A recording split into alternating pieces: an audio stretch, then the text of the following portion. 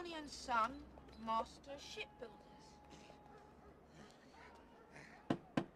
Whoa, whoa, reality check here, guys. Do we actually believe some bozo's gonna give us a ship just because we show him Captain Bones' map? Rather try, Rizzo. I don't know. May I help you? Yes, thank you. We wish to speak with Squire Trelawney, the shipbuilder. We need a ship. I'm sorry. The squire's in Long Nedry for the grouse season. He will return on the feast of Saint Lulu. Thank Oh, you. that's that. well. Uh, Of course, his rich half-wit-son young Squire Trelawney is here. We'll see him then. Well, gentlemen, this is definitely a genuine bona fide treasure map. Oh, really? Oh, yes, Mr. Bimbo told me so. Oh, Mr. Bimbo lives in my finger. He's very smart. He's been to the moon. Thank you. Twice. I smell a bozo.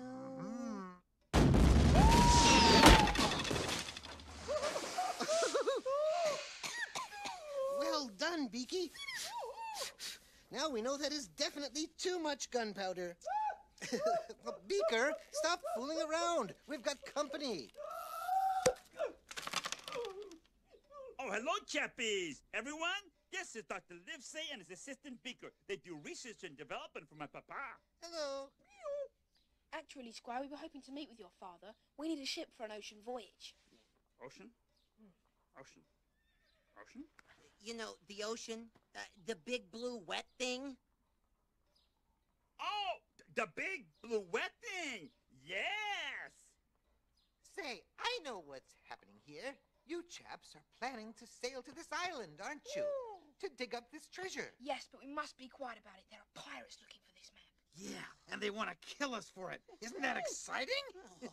Pirates, eh? Well, that settles it.